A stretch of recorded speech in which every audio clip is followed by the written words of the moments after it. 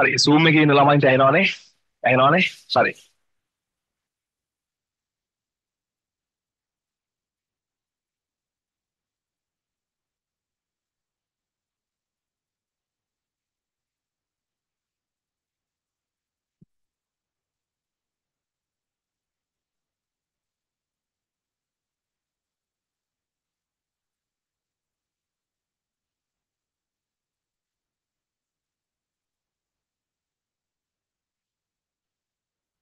Message එකක් දාන්න ඇහෙනවනම් වැඩි පටන් ගමු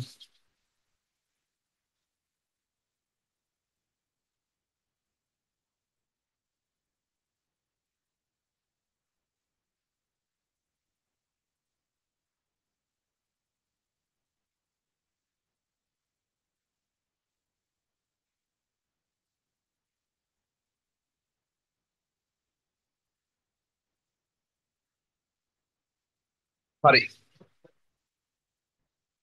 අපි පන්තිය පටන් ගන්නේ පටන් ගත්නේ පටන් පන්තිය පටන් ගත්තේ මීට කලින් 10 ඉඳලා රෑ 10 ඉඳලා 11 මාර වෙනකන්. හැබැයි වැඩේ තියෙන්නේ මම අර වේලාසන මේ ලයිව් ක්ලාස් එකක් තියෙනවා මේ හවස 7 ඉඳලා. හරිද? 7 ඉඳලා 10 වෙනකන් තියෙනවා මේ 20යි 25 පන්තිය. 20යි 25 ක්ලාස් එක.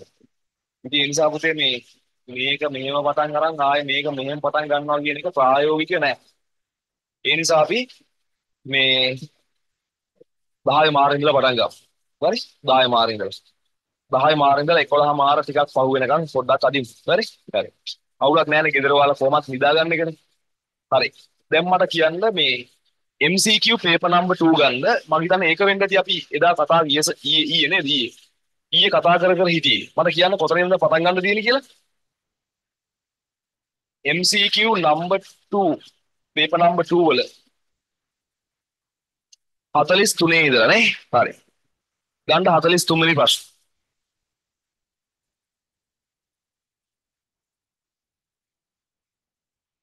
ආයෙත් මේ පේපලාස් එක ගැන කතන්දර කියලා දෙන්න නම් මනම් මේ විකා මේ මේකේ මොකක්ද මේක කොහොමද වෙන්නේ? මේ වර මුල වීඩියෝ බලන්න. අද day 6 නේ. අලුතෙන්ම ළමයෙක් ඉන්නවා නම් day 1 ඒ day 2 ඒ හරි බලපුවාම තේරෙයි. හරි? එච්චරයි හරි? දැන් මට හරි ලේසි කියන්න. ඒ කියන්නේ වාඩක් ගාලා day 1 බලලා හරි එහෙම එහෙම බලලා ඉතින් එන්න එච්චරයි. හරි?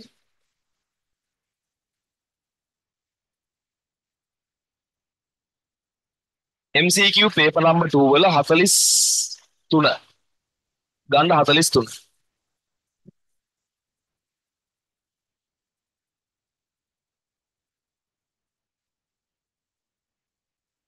බලමු. තරල විචිත්‍ර ආකෘතිය. පුතේ මතක් කරගන්න අර ප්‍රෝටීන ගෝලිකා තියෙනවා. ෆොස්ෆොලිපිඩ් ස්තර දෙකක් තියෙනවා. කාබෝහයිඩ්‍රේට් අර කෙටි ශාකනය වෙච්ච දාම තියෙනවා. රත්ව සෛල පටලවල විතරක් කොලෙස්ටරෝල් තියෙනවා. බලමු. ප්‍රෝටීන් අණු වඩාත් සචල අණු වන අතර ෆොස්ෆොලිපිඩ් අණු පටලයේ විචිත්‍ර බව වැරදි ඔය දෙක මාරු වෙන්නයි ඕනේ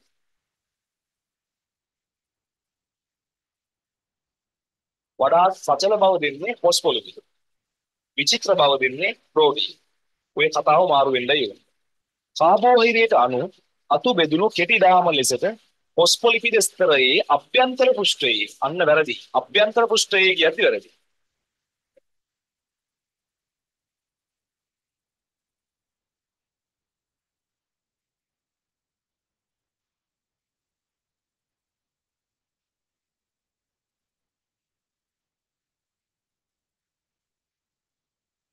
මේ තියෙන්නේ බාහිර පෘෂ්ඨයෙන්. මේ තියෙන්නේ අභ්‍යන්තර පෘෂ්ඨයෙන්. ඔය කාබෝහයිඩ්‍රේට් දාම තියෙන්නේ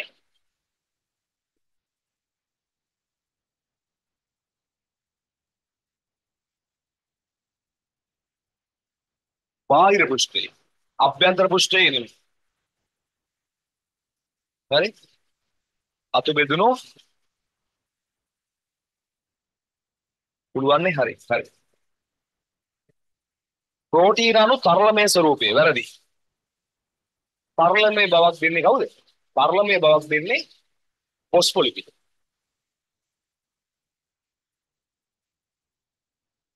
ඊට පස්සේ ප්‍රධාන සංඝටක පොස්පොලිපිඩ හා ප්‍රෝටීන වේ. ඔව් ප්‍රධාන සංඝටක ඒ දෙන්න තමයි. ප්‍රෝටීන අණු ද්වි අණුක ස්තරයක්. ප්‍රෝටීන අණු ද්වි අණුක ස්තරයක් ලෙසට පවතී. මොකක්? ප්‍රෝටීන අණු ද්වි අණුක, ඒ කියන්නේ අණුක ද්වි අණුක ස්තරයක් ෆොස්ෆොලිපිඩ් වෙන්නේ. නේ? ප්‍රෝටීන නෙමෙයි ෆොස්ෆොලිපිඩ්. වැරදි. උත්තරේ පහ.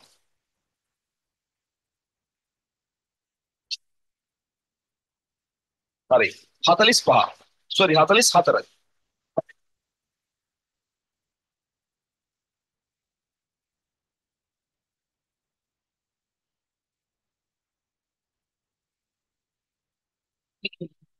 නිවැරදි සංකලනය සංකලන නොවන්නේ.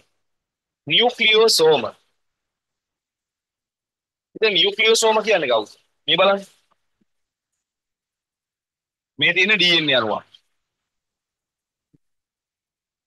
හරි. එයා එකතු වෙනවා හිස්ටෝන ප්‍රෝටීන ගෝලිකා අණු 8ක් එක්ක. හිස්ටෝන ප්‍රෝටීන ගෝලිකා 8ක් එක්ක. 4යි 5යි 6යි 7යි 8යි මේ තියෙන්නේ ඔන්න මම මේක සම්පූර්ණ බෝලයක් විදිහට අඳින්නම්. ඒතර මෙන්න අර DNA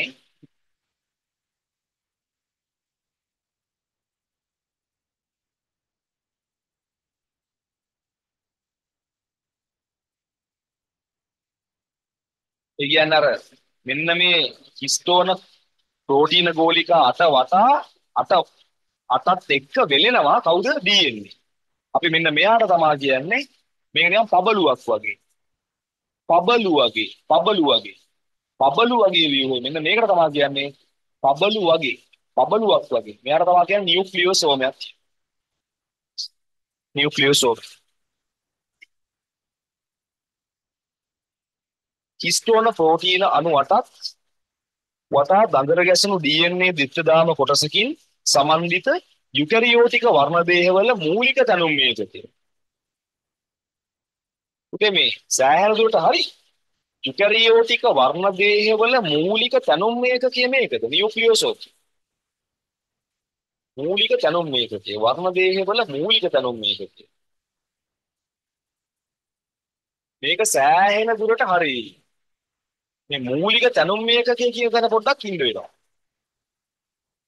සෑහෙන දුරට හරි. බලමු ඊළඟ නියුක්ලියෝඩේ. නියුක්ලියෝඩේ. ඉතින් නියුක්ලියෝඩේ කියන්නේ මෙයා නියුක්ලියෝඩේ කියන්නේ අර ප්‍රාග්න්‍යෂ්ටික සෛලයක මෙන්න මේ වෘත්තාකාර DNA තියෙන්නේ. ආන්ගේ තියෙන තැන. ඒ කියන්නේ අර න්‍යෂ්ටිය වගේ ක්‍රියා කරන තැන. මේ තමයි නියුක්ලියෝඩේ. නියුක්ලියෝඩේ ප්‍රෝකැරියෝටික සෛලයක ආවේනික ද්‍රව්‍ය අන්තර්ගත වන සෛලයේ මධ්‍ය කොටස. ඔව් ඒක හරි. සෙන්ට්‍රොමියරය. යුකැරියෝටික වර්ණදේහයක වර්ණදේහාංශ එකිනෙක සම්බන්ධ වන මධ්‍ය කොටස. හරි. සෙල් ඩී වර්ණදේහාංශ යුකැරියෝටික වර්ණදේහයක සමාන ජාන සංයුතියක් දරන සර්ව සම පිටපත් යුගල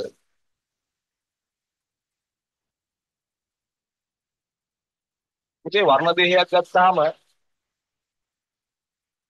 මෙහෙම සෙන්ට්‍රොමියරේ තියෙනවා. මෙහෙම එක වර්ණ දේහාංශයක් මෙන්න අනිත් වර්ණ දේහාංශය. දැන් අපි මෙහෙම දෙකට බෙදුවොත් මේ තමයි වර්ණ දේහාංශ දෙක. ඒ දෙන්න සර්ව සමයිද සර්ව සමයිද ඔව්. සර්ව සමයි. අනුපූරක නැහැ සර්ව සමයි. ඔව්. ඒ කියන්නේ මෙතනක් තියෙන කැපිටල් T කියන ඇලීලේ නම් මෙතනක් තියෙන කැපිටල් T කියන ඇලීලේ. සර්ව සම. හරි? එතකොට විස්තරේ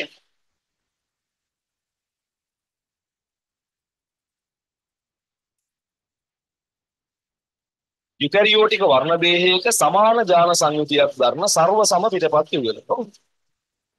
කතාව හරි. පයින්ට පොව. පුතේ කයින්ටකෝ කියලා කියන්නේ මෙන්න මේ අර ප්‍රෝටීන පළකේ නේද? මෙන්න මේ ප්‍රෝටීන පළකනේ. ඒවටනේ අර ඇවිල්ලා මෙයා සම්බන්ධ වෙන්නේ අර මොනවද මේ? කවුද? තරපසුද්ධ නාලිකා. යුකරියෝටික වර්ණ දේහයක එක් එක් වර්ණ දේහාංශයට සම්බන්ධ ප්‍රෝටීනමය ව්‍යුහ වන අතර කයින්ටකෝර ශුද්ධ නාලිකා සමග සම්බන්ධ වේ. ඔව් හරි. BCD හරි නිසා කොහොමත් උත්තරේ පහ. අර කැනුම් ඒකකයද කියන එක පොඩ්ඩක් බලන්න වෙනවා. ඒක බලන්න මම මොලිකියුල පාඩමට යන්න වෙයි. නියස්ටිය ළඟ නියුක්ලියෝසෝම කියන ටර්ම් එක නෑ නේද? පොඩ්ඩක් බලන්න. නියස්ටිය ළඟ තියෙනවද බලන්න නියුක්ලියෝසෝම කියන එකක් මම හිතන්නේ නෑ.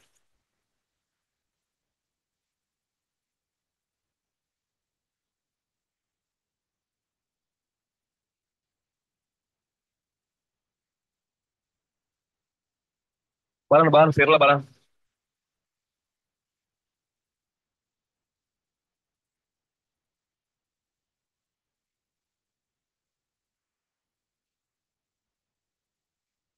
අද බයෝ පේපර් එක මේ ලේසි. අද බයෝ පේපර් ගැන පොඩ්ඩක් කතා කරමු ලේසි. හරි? හේතුව මම පේපර් එකේ කිව්ව ප්‍රශ්න ඒවා ඒ විදිහටම ඇත. හරි? කියන්න ඕන තරම් තොරතුරු තියෙනවා. බයෝ පේපර් ලේසි.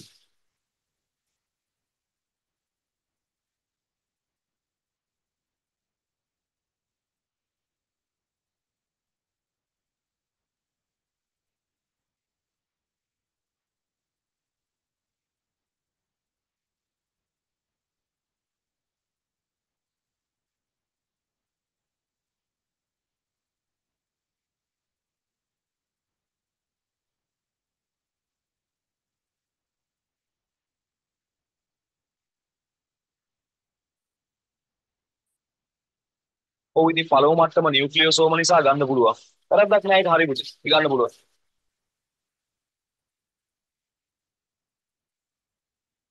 ගන්න පුළුවන්. ඒක හරි. මේකේ උත්තර සේරම හරි ඈ. සේරම හරි.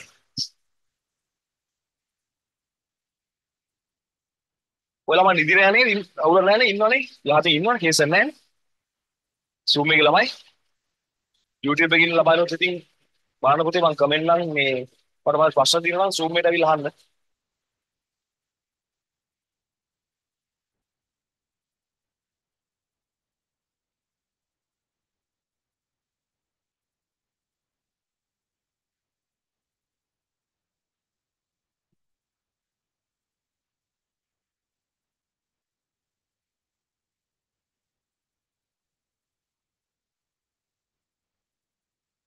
හරි. ඉදි මතේ මම දෙන්නේ කස්සිය.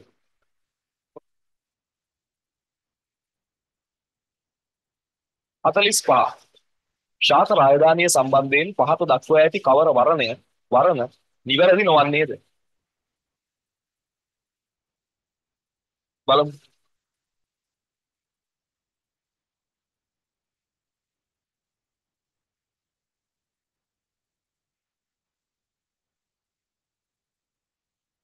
විදාල ශාක කණ්ඩායම බ්‍රියෝෆයිටා කියලා කියනවා. ඔව් මර්කැන්ටියා පොගොනාට මැන්තොසිරෝ සම්ප්‍රගත වේ. හරියටම හරි. බීජ රහිත සනාල ශාක විකල්පයක් වශයෙන් බීජාණු මගින් ව්‍යාප්ත වේ. බීජ රහිතයිනේ. ඔව් බීජාණු මගින් ව්‍යාප්ත වෙනවා. ඔව්. ශුකීපාසි සමහරක් විෂම බීජාණුකයි. පුතේ අහන්න. ශුකී කියද්දි S S කියද්දි සෙලජිනෙල්ලා සිලිජනෙල්ලා කියද්දි විෂම බීජාණුකයි. ඒතර මේකේ සමහරක් කියන එක වැරදි. සමහරක් කියන එක යටින් වැරද්දක් දාන්න.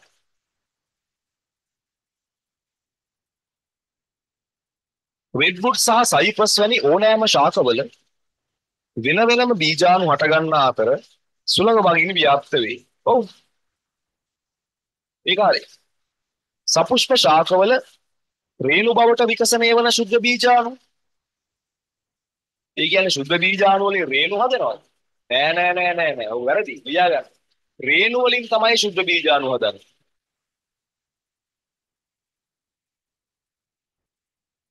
ඉතින් අර වැරදි එක අහන නිසා උත්තරේ පහ. හරියට ඇහුවා නම් ABD ඈ.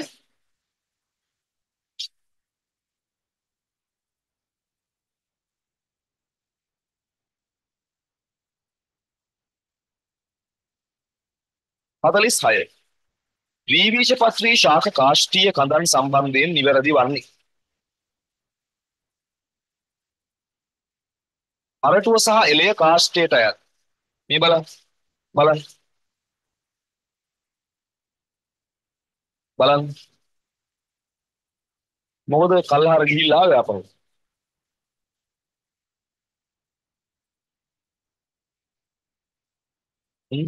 ලියුනේ ඇයි?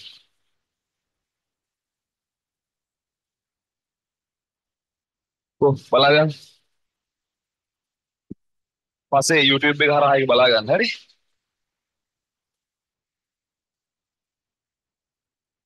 සිග්නල් නැති වුණා. ආ. හරි. මේ බලන්න. 40 අපි ඉන්නේ 6 ඈ? 46 දෙවෙනි MCQ එකේ 46 මේ බලන්න.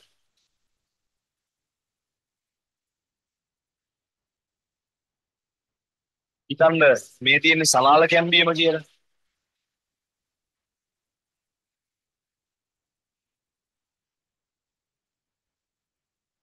සනාල කැම්බියම පුතේ සලාල කැම්බීමෙන් එළියට අපි කියන්නේ පොත්ත කියලා. පොත්ත. සලාල කැම්බීමෙන් ඇතුළට අපි කියන්නේ කාෂ්ඨය. කාෂ්ඨය. මම කාෂ්ඨය එළියට ගත්තොත් ඒ කියන්නේ මෙන්න කාෂ්ඨය. ඕකේ මේ ඇතුළට කියන්නේ අරටුව කියලා. කාෂ්ඨයේ ඇතුළ තමයි අරටුව. කාෂ්ඨයේ පිටපැත්ත තමයි එළය. අරටුවෙන් තමයි ඕගොල්ලන්ගේ දෑවැද්ද හදන්නේ. ගෑල් ළමයි. හැබැයි වඩු බාස් මාමා එළියත් පොඩ්ඩක් දානවා. එයාට ලාභයි මේක. හරි. අරටු අරටුව තමයි ගණන් නේද? ඔයාලා තියරි කාලේ ඔය සර්ලා කියලා දීලා ඇති. දැන් ඔන්න මම මතක් කරා ප්‍රශ්නෙට දාලා ඔයා. අරටුව සහ එළය කාෂ්ඨයට අයත් වේ. ඔව් අරටුව සහ එළය කාෂ්ඨයට තමයි අයිති වෙන්නේ. කතාව හරි. අරටුවේ සෛලම වාහිනී වල ටීලෝස. උදේ අවුට්. ඇත්ත කතාව මේක අවුට්. ඔය ටීලෝස ගැන අහන්නේ නැහැ. ඔක අවුට්. නමුත් මම කියනවා බලාගන්න. දැන් මේ අරටුවේ මෙන්න මේම සෛලම බට තියනවා කියන්නකෝ. ඒවා එන්නේ වතුර අරන් යන්නේ. ඔය සෛලම බත අස්සට මෙන්න මෙහෙම මුදුස්තර සෛල නිරනවා මුදුස්තර සෛල. ඔන්නෝම නිරනවා. මෙන්න මෙහෙම මුදුස්තර සෛල නිරනවා. මේ මෙරීම් වලට තමයි කියන්නේ ටීලෝස කියලා. මෙන්න මේවට තමයි කියන්නේ මේ මෙරීම් වලට තමයි කියන්නේ ටීලෝස. එහෙම නිරපුවාම මොකක්ද වෙන්නේ බලන්න. වෙන්නේ අර වතුර ගමනාගමනය මොකක් වෙනවද මේ මේ අමාරුයි මේ අරන් යන්න අමාරුයි. වතුර ගමනාගමනය එන හිටිනවා. ජලය යන්නේ. ඒකයි වෙන්නේ.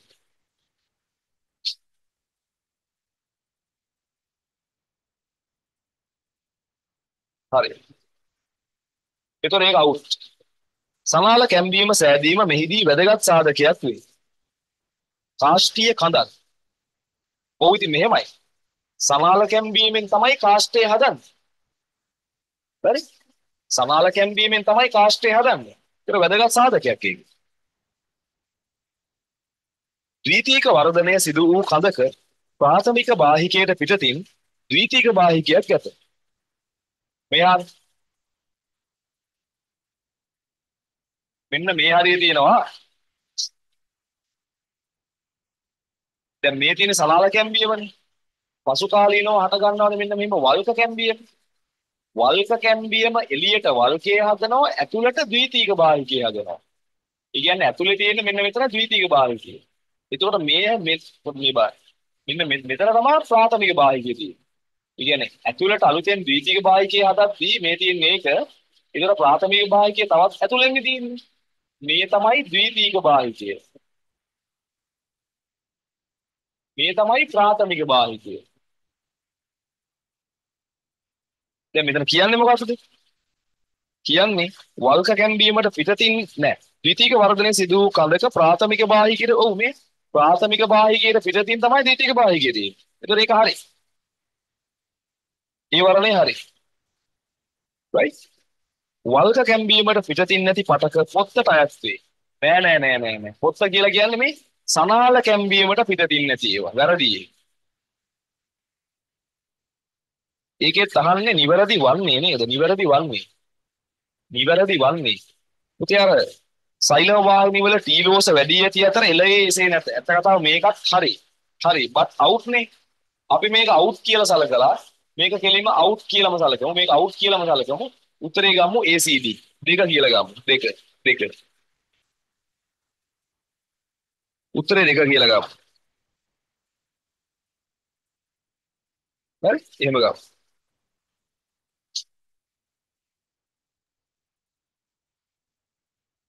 හතලිස් හත පුතෝ මේ වෙලාව අවුල් නේද මොකද කියන්නේ මම සින්දුවක් කියන්නද තාමත් ඔබගේ පළමු පෙම්වතා කියන්නේ මොකද කියන්නේ ඈ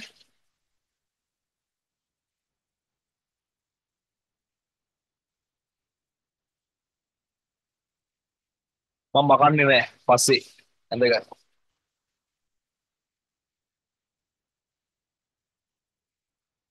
අම්මල හින්ද යව්වේ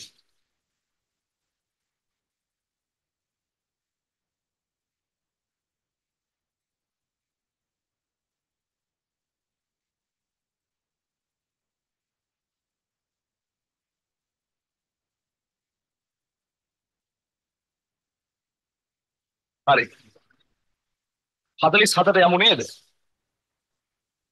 ඔය ටික ඔයා නිමාඩුව පස්සේ වීඩියෝ එක බලලා හරි අඳ ගන්න ලියා ගන්න පුළුවන්.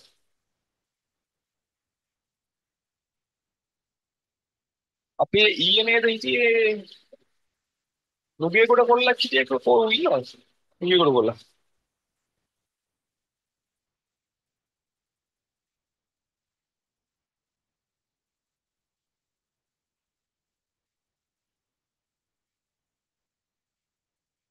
අද දවසේම බයෝ ඒ නිසා ඔළුව වටේ බයෝ කරකිනවා.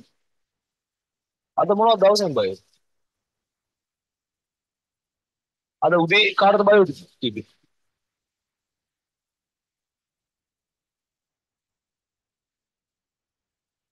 ආ මගේ පන්ති ළමයි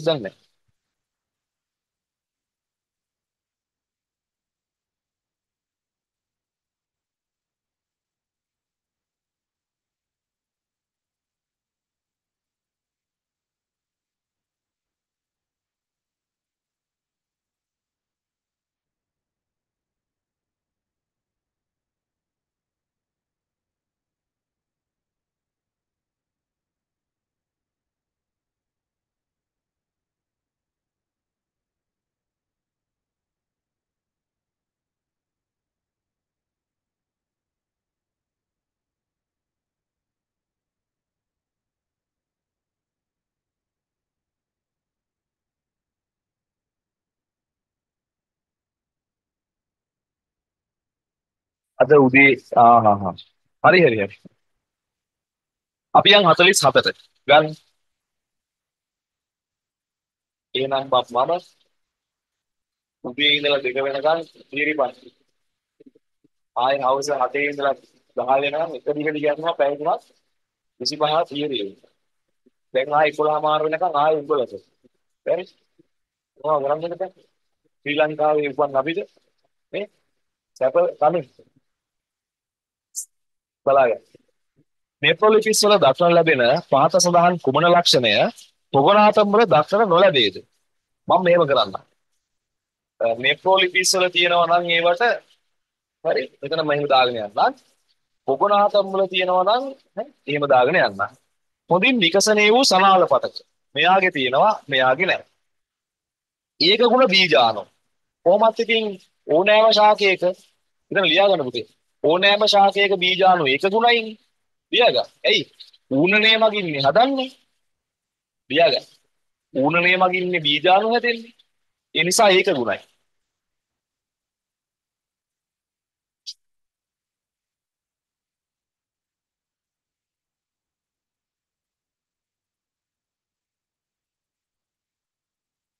හරි. ස්වාධීන බීජානුශාකය. නෙප්‍රොලිපිස් වල නම් හරි. පොගනාටම් වල නැහැ. පොගනාටම් වල ජන්මානුශාකය මත යැපෙනවනේ. ස්වාධීන ජන්මානුශාකය. ඒක දෙන්නටම අදාළයි. සචල ප්‍රජනක සෛල. දෙන්නටම අදාළයි. එහෙනම් අහන්නේ මොකද්ද නෙපොලිපිස් වල තියෙන පොගනාටම් වල නැති එකක්. ඒ කියන්නේ මෙන්න මේ උත්තරේ එනවා ඊට පස්සේ මෙයා එන්නේ නැහැ මෙයා එනවා මෙයා එන්නේ නැහැ මෙයා එන්නේ නැහැ. ඒ සහ C එන්නේ නේ. අද ඒකෙත් පහ යපු. ඒකෙත් පහ.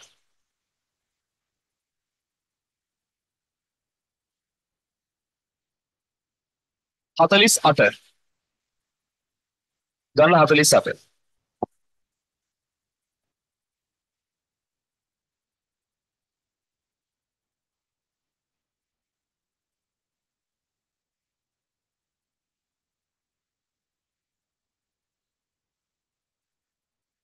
හතලිස් අට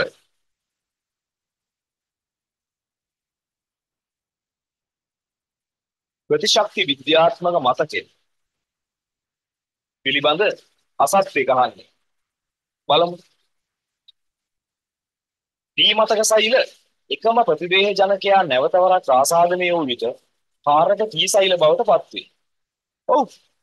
ටී මතක සෛල වලට පුළුවන් කාරක ටී සෛල බවට පත් වෙන්න. ආපහු මේ නැවත ව්‍යාධි ජනකයාම ආපහු ආපුවාමනේ මොකවත්ලා දෙන්නේ හොම්බේ යන්නේ. තෝ නේද මට එදා මෙහෙම කරේ වරන් කියලා බෙල්ල මිරිකලා මරලා දාන්න කියලා. වඩාත් වේගවත් සහ ප්‍රබල ප්‍රතිචාර දෙන්නේ. ද්විතීක ප්‍රතිශක්ති ප්‍රතිචාර සිදුවීමේදී වැදගත්. වේ ඔව්විද ප්‍රාථමික නෙමෙයිනේ ද්විතීකනේ පසුකාලීනවනේ. ද්විතීකව තමයි. ඔව් දැන් මට පැපොල හැදෙන ෆස්ට් ටයිම් හරි? ඒ වෙලාවේදී මතක සෛල පහර දෙන්න මතක සෛල වැදගත් වෙන්නේ ෆස්ට් ටයිම් මට පැපොල හැදුනහම ඉකදාලව මතක සෛල හැදෙනවා. අන්න සෙකන්ඩ් ටයිම් මාපහු පැපොල වෛරස් ආපුවාම එයාට එලවෙලව පහර දීලා මරලා දානවා. ඒ කියන්නේ දෙවරු. ඒක හරි. මතක T සෛල සහ මතක B සෛල එකම ප්‍රතිදේහ ජනකයා වෙනුවෙන් ක්‍රියාත්මක නොවේ. ඒක නම් වැරදි. හරි? B සෛලයි B සෛලයි දෙගොල්ලම එකම ප්‍රතිදේහ ජනකයා වෙනුවෙන් ක්‍රියාත්මක වෙන්න පුළුවන්. ක්‍රියාත්මක වෙනවා. ක්‍රියාත්මක නොවේ කියන එක වැරදි. ක්‍රියාත්මක වෙන විදියයි වෙනස්. ඊයග. ක්‍රියාත්මක වන ක්‍රමයයි වෙනස්. ක්‍රියාත්මක වෙනවා. නොවේ කියන එක වැරදි. ක්‍රියාත්මක වන විදිය වෙනස්. මතක B සෛල එයාට මෙහෙම ක්‍රියාත්මක වෙනවා. මතක T සෛල මේ විදිහට ක්‍රියාත්මක වෙනවා. දීවසා සෛල ප්ලාස්මා සෛල බවට පත්වීමෙන් නෑ නෑ නෑ නෑ. දීවසා සෛල වලින් ප්ලාස්මා සෛල හදන්න එක වැරදි. දීවසා නෙමෙයි දීවසා වෙන්න. මතක ප්‍රතිශක්තියේදී ඊටා සෙමෙන් සිදුවන ප්‍රතිචාර අපෝ නෑ මතකයේදී ප්‍රබල වේගවත් සෙමෙන් කියන එක වැරදි. එහෙනම් උත්තරේ අසත්‍ය කිව්වහම CD පහ.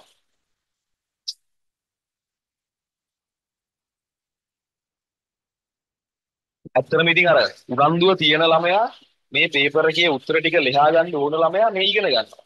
හරි? ඒ කියන්නේ අනිත් ළමයි මම දන්න තරමින් අනිත් හැමෝම ඉන්න ඕනේ මේ ඔළුවෙන් අල්ලලා හොම්බෙන් අල්ලලා තියලා පේපර් පලෙන් කරවලා ලියවලා හරි මේ අපේ නේද අවාදයක් බැන්දාමත් මෙහි වරෙන් කියලා අපරි දෙන්නව හරි අපි කියන්න දෙයක් නෙවෙයි හරි අපි මේ බලෙන් කරවන්න ඕනේ මොකද පුදුම ළමයි නේ. තමන්ට තමන් ගැන උනන්දුව තියෙන හැටි.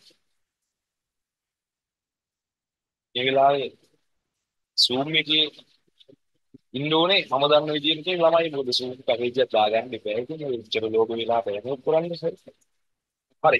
කීයටය ආම්ලිකයි. බලන්න කෙල නිකන් ඇඹුල් රහක් වෙනවා නෑ නෑ නෑ. බලන්න කෙල නිකන් කහට රහක් වෙනවා වාස්මිකද? නෑ නෑ නෑ. උදාසීනයි. ඒක වැරදි. එන්සයිම නිෂේධක අන්තර්ගතයි. කීටයේ තියෙනවද එන්සයිම නිෂේධක? ඒ කෙලවල තියෙනවා ක්ලෝරයිඩ් අයන. ක්ලෝරයිඩ් අයන වලින් කරන්නේ එන්සයිම සක්‍රිය කරන එක. නිෂේධක කියන එක නම් වැරදි. නිෂේධක කියලා ගන්න. නිෂේධක නෑ ඔක බෑ. ශ්‍රාව්‍ය වීම නිෂේධනය කිරීම ස්වයං සාධකව අපිට හිතලා කියලා උනන්න බෑනේ. දැන් මට කියලා ගොඩාක් ගන්න ඕනේ. හරි. චූටි කාර්ය වල කෙල ප්‍රහාර ගහ ගන්න තියෙනවා. මම එකම එක්කෙනෙකුට කෙල ප්‍රහාර ගහලා තියෙනවා. ඒ මට ගහපු නිසා නැත්තම් මං ගහලා නැහැ කාටවත්. මට ගහපු නිසා මං ඒරවල ගිහලා කෙල ගහනවා. කොහොමද හරි? මම කෙල ගහලා නැහැ කාටවත්. මේ ඒ හැරෙන්න. චූටි කාලේ මට මතකයි මේ කෙල ගහන ස්ටයිල් එකක් තිබ්බා. ස්පෙල් බයින්ඩර් ක්‍රමයට ගහන්න. මෙහෙම අර මෙහෙම කරලා අර ස්පෙල් බයින්ඩර් මෙහෙම ගන්න. මායා බන්ධන මෙහෙම කියලා තුක් කියලා ගහ එහෙම ගහන්නේ. හරි? මොන සීන් එකක් තිබ්බා. හරි? ශ්‍රාව්‍ය වීම නිෂේධනය කිරීම ස්වයං සාධක. ඔව්. ඒක හරි. මොකද දෛහික ස්නායු පද්ධතියට බෑ. ඉච්ඡානුග ස්නායු පද්ධතියට බෑ. ස්වයං සාධකයකට තමයි පුළුවන් වෙන්නේ. ඒකේ අනුවේගීද ප්‍රත්‍යානුවේගීද? අනුවේගීනේ ඉස්සරහ ලියන්න. ඔව් හරි. අයි ඒකේ අනුවේගී කියලා ලියගන්න. කෙල ශ්‍රාව්‍ය වෙන්නේ නැත්තේ අර කලු කුමාරයා ඉදින්නේ. කලු කුමාරයා ඉස්සරහින් ඉන්නේ කෙල එද්දි කෙල හිදෙනවා. කියන අනුවේගී. ආහාර ගිලන විට අපේක්ෂිකාව මගින් ශ්වාසනාලයේ දොර වැසීම. ආහාර ගිලිද්දී අපේක්ෂිකාව ශ්වාසනාලයේ දොර වහනවා නම් තමයි. ඉතින් බං ඒකට කේතේ සම්බන්ධ. ආ මේ ඊ මං කිව්වේ. මේ ඒක මේ යන්නේ කොහෙද මල්ලේ පොල්නේ. බලන්න D D කියන්න බැරුව ගියා. බැක්ටීරියා නාශක හැකියාවක් තියෙනවා. ඔව් කවුද? ලයිසොසයිම්. ලයිසොසයිම් ලයිසොසයිම්. පුතේ මේ ආහාර ගිලන විට අපචිකිකාව මගින් ශ්වාසනාලයේ දොර වැසීම උත්තේජනය කරයි. ඒක පියටයත් එක්ක මේක නම් අදාළ නැහැ අදාළ නැහැ. ඒ නිසා ඒක අවු පැත්තකට දාමු. උත්තරේ අපිට ගන්න වෙන්නේ C සහ D. උත්තරේ හතර C සහ D.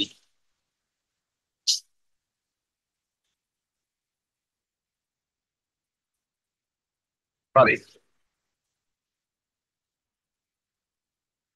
ඊයේ මට මතකයි මේ කොල්ලෙක් ඔයාලගේ පන්තියේ නේද කිව්වේ?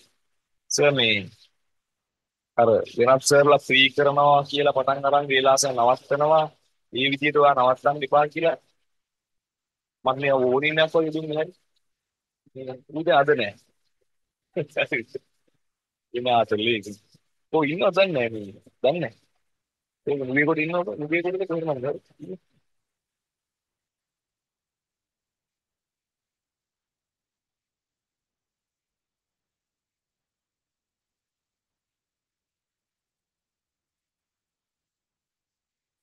හරි.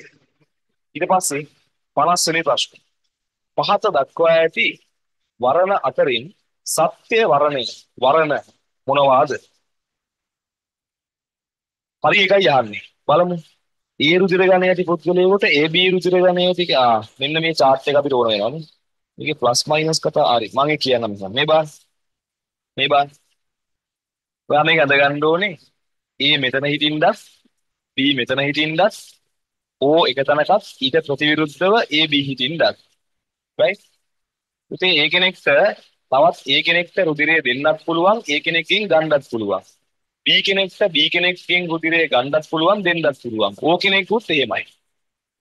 හරි තම තමන්ට හුවමාරු කරගන්න පුළුවන්. තවත් ඒ B කෙනෙකුට දෙන්නත් පුළුවන් ගන්නත් පුළුවන්.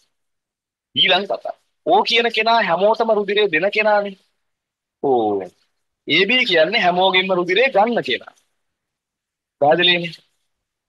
ඒ නිසානේ අපි කියන්නේ මෙයාට සර්ව ප්‍රතිග්‍රාහකයා මෙයාට සර්වදායකයා. හරි. මේ තමයි ඔය රුධිර ගණ හතරට අදාළ කතාව. ඊළඟ කතාව අර රීසස් සාධකයට අදාළව ගත්තොත් ඔයා දැනගත යුතුයි රීසස් ඒ කියන්නේ RH පොසිටිව් කෙනෙක්ට RH රීසස් නෙගටිව් කෙනෙක්ට රුධිරය දෙන්න බෑ. දෙන්න බෑ. ඇයි කියලා මයෙන් අහන්න එපා. ඒව තියරි සර්ලා කියලා දීලා තියෙන්නේ. හරි? ඒ නිසා ඔයා පොඩ්ඩක් මහන්සි වෙලා පොතපත බලලා ඒවට ඔයා ලෑස්ති වෙන්න. දැන් මට මේක තියරි පන්තියක් වගේ කියලා දෙන්න බැරි කමක් නැහැ. මතකයි. කෙලින්ම ලියන්න මාතෘකාව කියලා රුධිර ඝන වර්ගීකරණය කියලා පටන් ගන්න පුළුවන්. ඔයාලා ආස තියරි ඉගෙන ගන්න විතරයි ආස. ඔයාලා ආස නැහැ ප්‍රශ්නවලට උත්තර විසඳ ගන්න.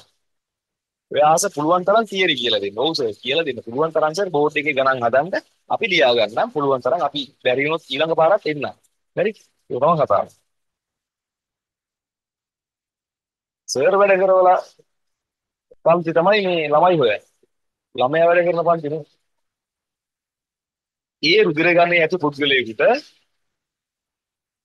AB රුධිර ගණයේ ඇති පුද්ගලයෙක් සඳහා රුධිරය දෙන්න පුළුවන්ද? ඔව්. AB කෙනෙක්ට දෙන්න පුළුවන්.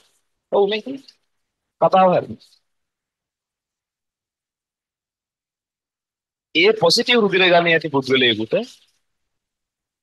AB නෙගටිව් අපෝ බෑ මේ පොසිටිව් කෙනෙක්ට නෙගටිව් කෙනෙක්ට දෙන්න බෑනේ. ඒ නිසා ඒ කවුද කින්න මන්ද බලන්න ඕනේ. ඒ නෙගටිව් රුධිර ගණයේ ඇති පුද්ගලයෙකුට පොසිටිව්.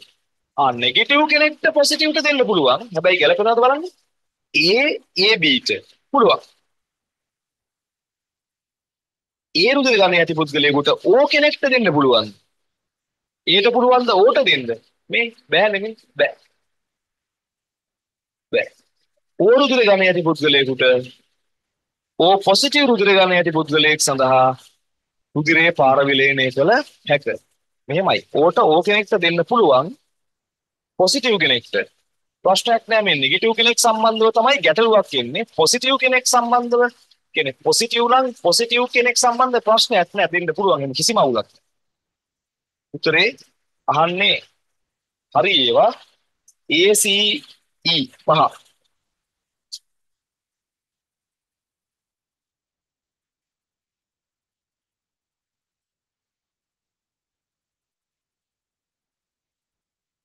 හරි. දැන් කතාව මෙහෙමයි. වෙන ඒ පේපර් එකේ මොනවද ඉතුරු තියෙයිද? yes no මැසේජ් එකක් කියවන්න.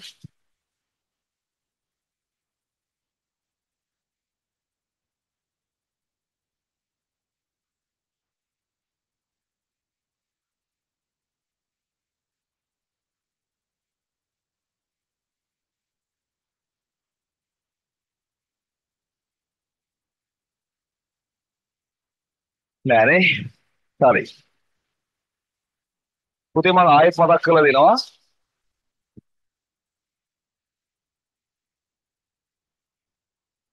සෙට් 1 වල MCQ එක ඉවරයි. ව්‍යුහගත රචනා එක ඉවරයි. රචනා ඉවරයි.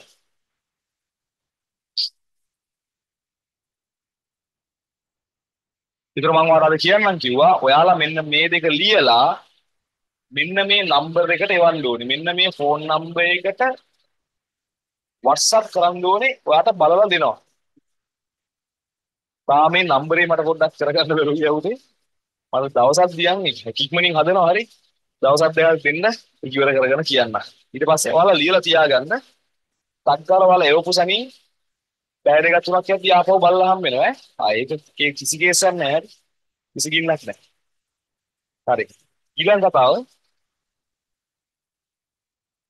ආ මතක් කරලා ඔයාලා පේපර් එවද්දි මේ ඔයාලගේ ඔය අර රවි අංකල්ට දීපු නම ලියන්න නම ලියන්න මොකද නැත්තම් මේ අනුන්ගේ පේපර් බලන්නේ නැහැ මේ පේපර් ලාස්ට් ජොයින් වෙලා ඉන්න ළමයින්ගේ පේපර් ටික තමයි බැලවෙන්නේ මතක් කරලා නම ලියන්න WhatsApp කරලා ඊළඟ කතාව set 2 set 2 වල MCQ එක දැන් අපි ඉවර කරා. දැන් අපි යම් ව්‍යුහගත රචනා එක. ඒ කියන්නේ set 2 වල ව්‍යුහගත රචනා. ව්‍යුහගත රචනා නම්බර් 2 ගන්න. මට කියන්න ඒකේ කොයි ප්‍රශ්නද තියෙන ඉඳන්ද යන්න තියෙන්නේ මොකද්ද විස්තරය කියලා කියන්න. අදින් පස්සේ ඔයාලෙන් අහන්නේ අදින් පස්සේ පිළිවෙලට යන්නේ. හරි පිළිවෙලට යන්න. මම මැසේජ් එකක් කියවන්න.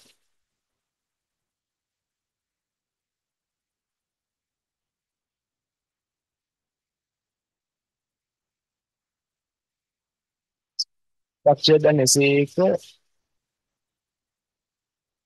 ආයේගේ පළවෙනි එකේ නම යන්න තියනවාද මුලින් නම යන්න තියනවාද yes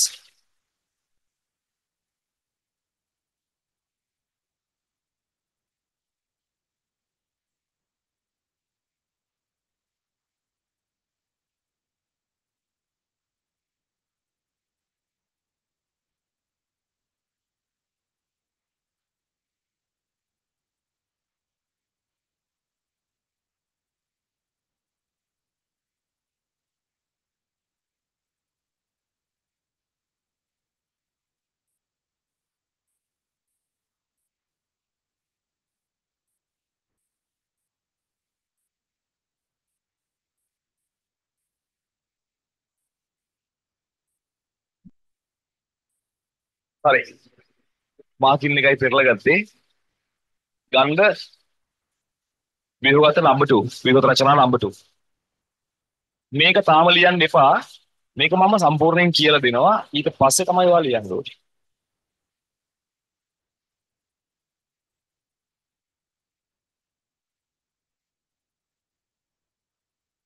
ඒක ඔයාලා මෙහෙමත් කරන්න පුළුවන් ඕනනම් මේකට උත්තර ටික වෙනම කොලයක ලියා ගන්න. ඔයා දෙවෙනුව මේකේ ලියන්න. එහෙමත් මැච් එක ගහන්න පුළුවන්. දෙවෙනුව මේකේ ලියන්න. කොහොම සුදු පාටින් හින්දා පේන්නේ නැහැ නේ. ජීව විද්‍යාවේ ප්‍රධාන ශාඛා මොනවද? Zoology, botany, microbiology. ලියන්න. සත්ව විද්‍යාව, උද්භිද විද්‍යාව, ශුද්ධ ජීව විද්‍යාව. ජෛව විද්‍යාත්මක වශයෙන් විවිධ වූ පෘථුවියේ කොටස් මොනවාද? මොකක්? ජෛව විද්‍යාත්මක වශයෙන් විවිධ වූ පෘථුවියේ කොටස් ඊ මොනවද? කියන එකක් බලන්න මේ කොයි හැරීම් වගේ දාලා තියෙන්නේ. මං හිතන්නේ පළවෙනි පාඩමේ හැරිය තියෙන්න ඕන. පළවෙනි පාඩම අපි පොඩ්ඩක් බලමු. ගන්න පළවෙනි පාඩම.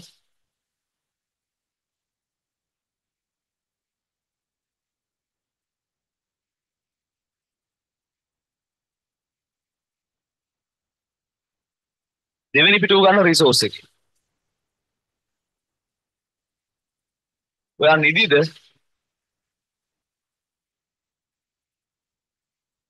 හිතා ගන්න එපා.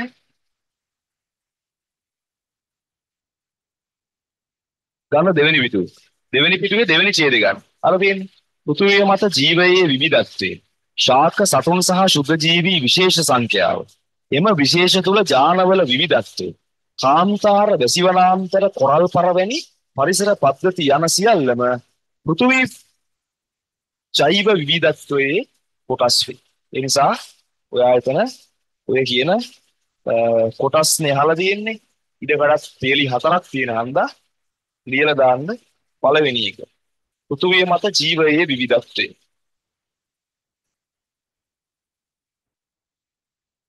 පෘථුවිය මත ජීවයේ විවිධත්වය. ඊළඟ ශාක සතුන් ශුද්ධජීවී විශේෂ සංඛ්‍යාව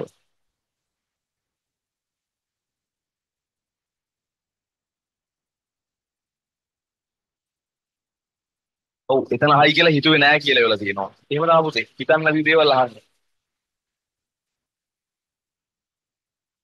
ඔයා දන්නවද? ඔයාලට තියරි සර් උගන්වද්දි කිව්වරද කියන්න ඇති සමහර විට. මම මේ ඊයේ පෙරේදා හරි 25 උන්ට කරා තුන්වෙනි පාඩමේ ප්‍රභා සංශ්ලේෂකයින් බිහිවීම මතකද ඔයාලට? කවුද? වර්තමානයේ සයන බැක්ටීරියා නමින් හඳුන්වන මතකයිනේ. ආ ඊට පස්සේ මොකද්ද ඒගොල්ලෝ කරන්නේ? ඔක්සිජන් නිදහස් කරනවා. ඊට පස්සේ මොකද වෙන්නේ? යකඩ ඔක්සිකරණය වෙනවා. යකඩ අවක්ෂේප වෙනවා. ඊට පස්සේ ජලාශය ඔක්සිජන් වලින් සම්තෘප්ත වෙනවා. ඊට පස්සේ තමයි වායු ගෝලයට ඔක්සිජන්. මං කිව්වා මේකේ පිළිවෙල අහන්න පුළුවන් කියලා. ඕන් අද ඊ අද දීපු පේපර් එකේ තියෙන පිළිවෙල අහ.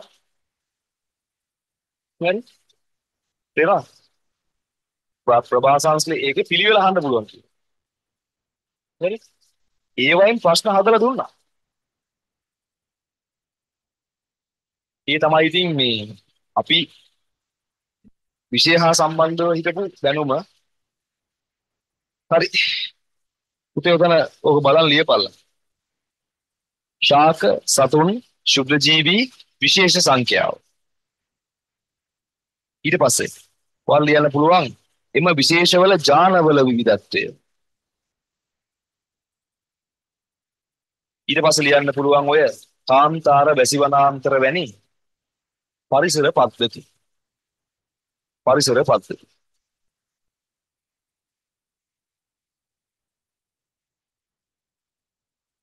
right. මානවයාගේ පැවැත්ම උදෙසා තිරසර ආහාර නිෂ්පාදනය අවශ්‍ය වීමට හේතුව කුමක්ද? ඉතින් අර ජනගහනය වැඩි වෙනවනේ. වර්තමාන ජනගහනය මෙච්චරයි. බිලියන 40. බිලියන 7ක් පමණ. ඒක තව අවුරුදු මෙච්චරකදී ඩබල් වෙනවා. ඔන්නව තමයි ලියන්නේ. ජනගහනය වැඩි වෙනවා කියන සීන් එක පොඩ්ඩක් මේගොල්ලෝ දීලා තියෙන ඩීටේල් වලින් ලියලා දාන්න. ලියන්න. වර්තමාන ජනගහනය බිලියන 7ක් පමණ වේ. වර්තමාන ජනගහනය බිලියන 7ක් පමණ වේ.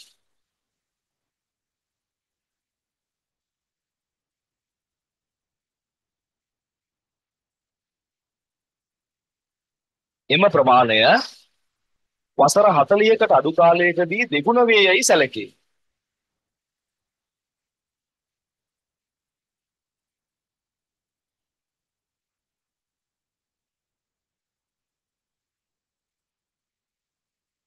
එච්චරයි එතනින් යාර උත්තරයක් ඕනේ නැහැ. ඒ ඇති එච්චරයි. ආයි ලියන්න ඕනේ මේ නිසා තිරසර ආහාර නිෂ්පාදනයක් අවශ්‍යයි කියලා. තව හතර අවුරුදු 40කට අඩු කාලයකදී වර්තමාන ජනගහනය දෙගුණ වේයයි සැලකේ. ඊට පස්සේ ජීව විද්‍යාව මගින් විසඳුම් ලබාගත හැකි නෛතික සහ සාරධර්ම ගැටලු තුනක්. ලියන්න ලේසි. අර මතකද මාතෘත්වය සහ පීතෘත්වය හොයද්දී ලියන්න. මාතෘත්වය හෝ පීතෘත්වය පරීක්ෂා කිරීමට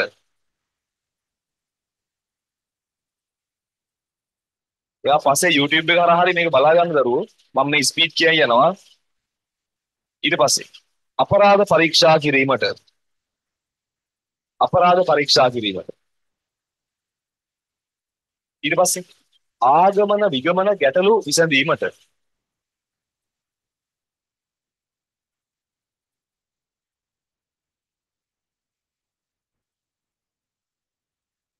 ජීවීන් තුළ දැකිය හැකි ලාක්ෂණික ලක්ෂණයක් වන අනුවර්තනය සඳහා උදාහරණ තුනක්. අපි අපිට හිතු හිතු දේවල් ඉතින් ලියන්න ලිව්වාම සමහර විට ලකුණු නොදෙන්න පුළුවන්. මේකේ අනුවර්තනයට දීලා තියෙන දේවල් තමයි ලියන්න නම් වෙන්නේ. අනුවර්තනය දීලා තියෙන මොනවද? ශුෂ්ක ශාකවල ගිලුණු පූටිකා.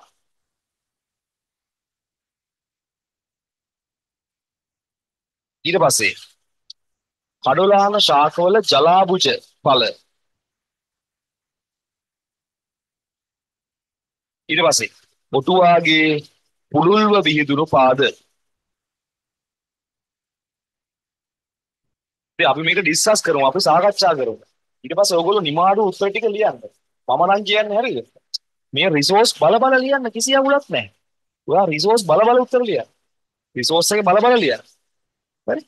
ඊට පස්සේ හැබැයි ලියන වෙලාවේ පොඩ්ඩක් මතකයට අරගෙන ලියන්න. ඊට පස්සේ මෙලෝ දෙයක් බලන්න නැතුව හරියටම පැයක් කරන් රෙස්පෙක්ට් ටික ලියපන්. Second shy. මොකද වෙන්නේ කියලා බලහල්ලා කොයි විදිහට පේපර් ස්ටික් කරලා.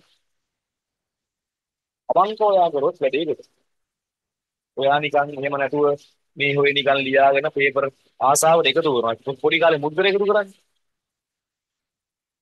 ඒ වගේ පේපර් ලස්සනට ලියලා ලස්සන අත්පුරින් මුතු අකුරින් ලියලා මේ මුතුවන් අකුරින් ලියලා එකතු කරනවා. එකතු කරලා කොහෙද තියලා තියෙන්නේ? වැඩක් තියෙන්නේ. නිසා ඒ කියන දේ ගැන ඔළුවේ තියාගන්න. මගේ කකුල් දෙක රිගෙන හොඳ වෙනවා. හරි? මේ ඊළඟ දවසේ මේ අර පුතුව දික්කන හරිනේ. නැත්නම් පාස් ඉස්සරහ ඉඳලා ඒ අදිවාසී පාස් කරනවා. ඒ ඔක්කොම කාල්සුවක් නැහැ නේ.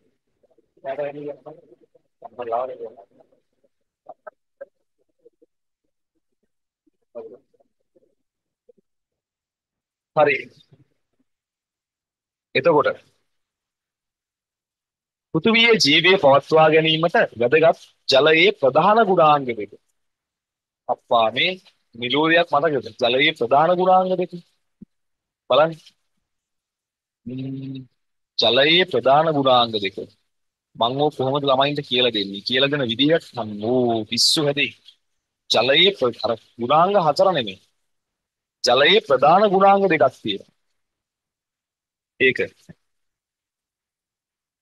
මට මතක විදියට සෛලවල කියලා පටන් ගන්නවාද කියලාත් මතක ඊට පස්සේ ජීවීන්ගේ කියලා කොහොමද?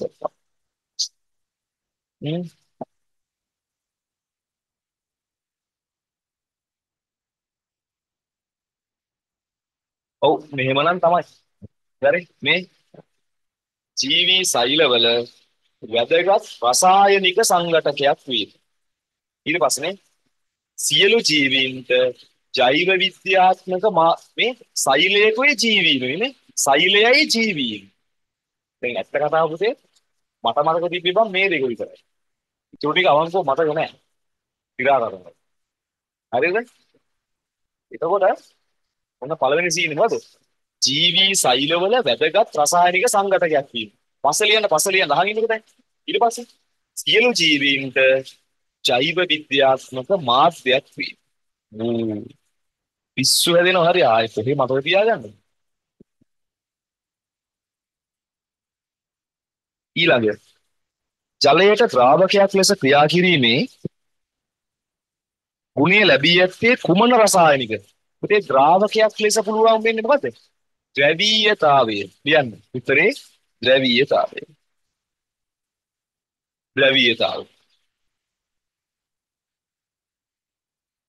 සාමාන්‍යයෙන් සම්තෘප්ත මේද අසම්තෘප්ත මේද වලින් වෙනස් වන භෞතික ගුණාංගයක්.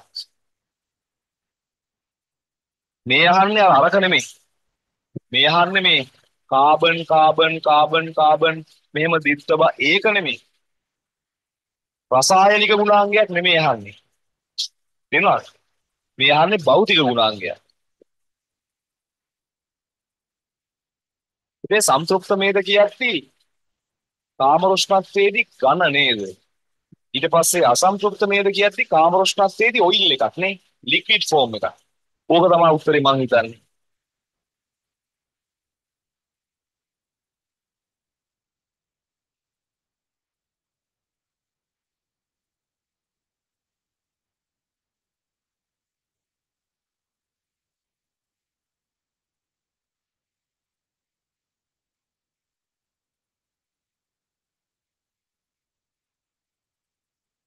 පිටුවක ඉඳන් කැමරා එක එතනට ફોකස් කරන්න ඕන.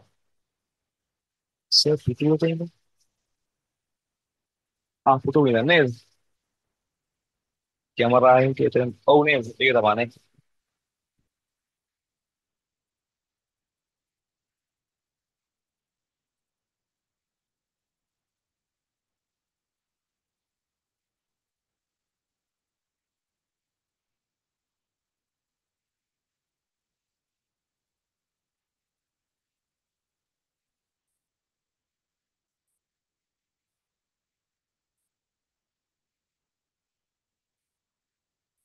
පුතේ අහන්නේ මොකද්ද?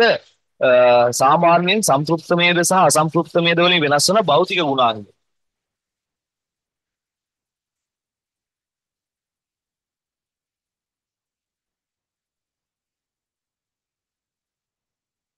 කියන්න.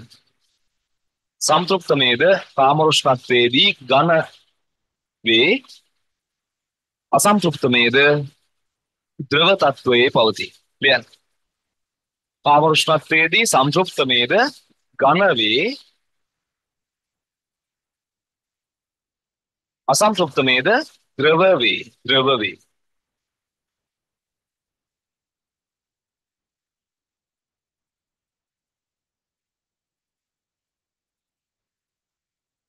ඊළඟ ප්‍රයි ඒසයිල් ගිසරෝල් අණුවක් ඇතිවන ආකාරය සඳහන් කරන්න. අනේ පුතේ ලේසි. මේ මේ බලන්න. මේ බලන්න. මෙන්න මේ ග්ලිසරෝල් අණුවට මේ දම් ලණු තුනක් බැඳිලා. මේ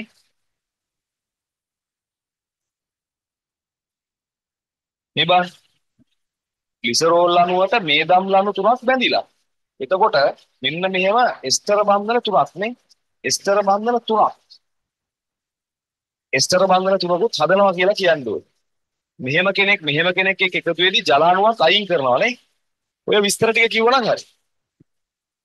ග්ලිසරෝල් අණුවක් මේ දම් ලණු තුනක් එක්ක බැඳෙනවා ජල අණු තුනක් පිට කරනවා හැදෙන බන්ධන වර්ගයේ එස්තර.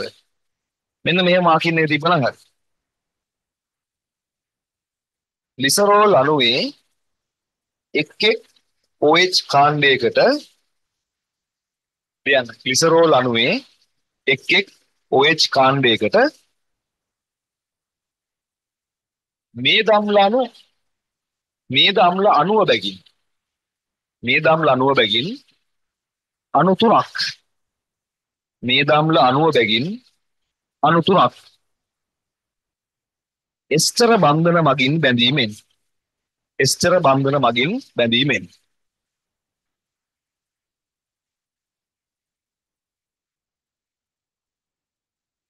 හරි. පුරා මාරා වෙලාවනේ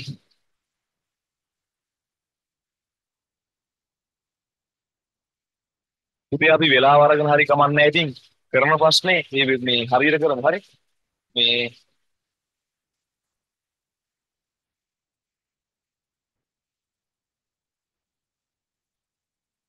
මම නිකන් අහන්නේ මේ බ්‍රහස්පතින්දයි ඉරිදයි වෙන ඉතින් අපිට මේ මේ මේ ටයිම් එක මේ වෙන වෙලාවකට අපිට ගන්න වෙලාවකුත් කියලා ඉතින් එහෙමත් අමාරුයි මේ කැමරාව උපකරණයි යනම් මනම් කතන්දරයි හරි? ට්‍රාන්ස්පෝර්ට් අනම් මනම් සේරම සලකලා තමයි පුතේ මේ මේ වෙලාවට දාලා තියෙන්නේ. අපි මෙහෙම කරමු 10 මාර ඉඳලා 11 මාර වෙනකම් පැයක් කරමු. හරි? අපි ඊයේ දවසේ ටිකක් තව පුළුවන් නම් තව චුට්ට වෙලාවක් අතිරි ඊයේ දවසේ අපි 7ට පටන් ගන්නනේ කොහේද 7 ඉඳන් 9 වෙනකම්. ඒක අපි තව චුට්ටක් අදිමු 9 කාලා 9 20 විතර වෙනකම්. 7 ඉඳලා. එහෙම කරමු. මේක පැයකින් මොකද? ඊට උඩේ මම යනවා ගාල්ල යන්නත් ඕනේ. හරි? ඒතර පන්ති තින් මොවා ඒ විදිහටම කරන්න එහෙම කියන්නේ කතන්දර හරි තේරෙනවනේ ඉතින් මේ අපි මෙහෙම යන් මේ විදිහට කරමු ඉතින්. යම් දෙයක් වෙනවනේ. හරි.